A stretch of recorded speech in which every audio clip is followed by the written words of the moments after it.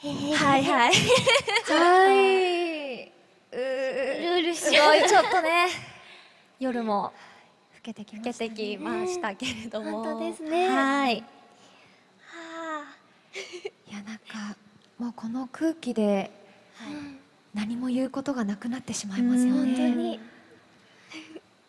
でもなんか、はい。皆さんのこうやってなんかなんでしょうね、うん。こうあの花が大好きな方たちとこうやって集まれて、うん。なんかもうそれだけでもすごく嬉しいです、うん。本当に皆さんありがとうございます。ありがとうございます。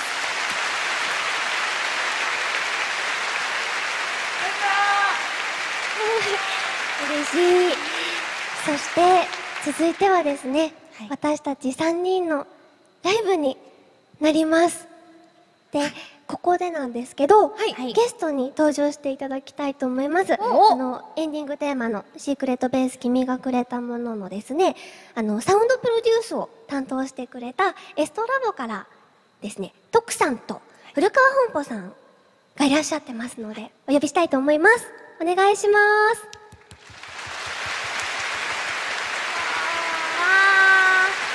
よろしくお願いします。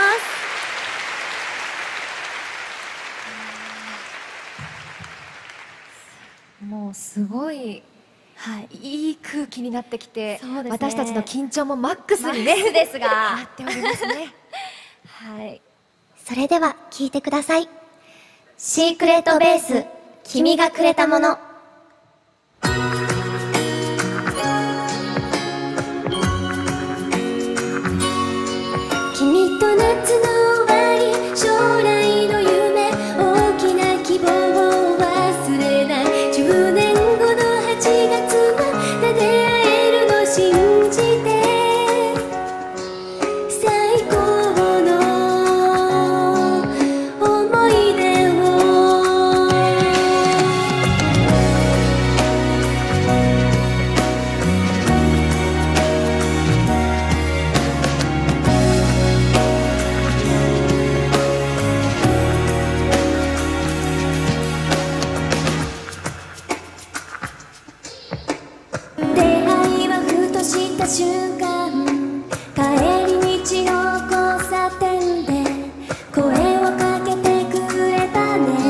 show.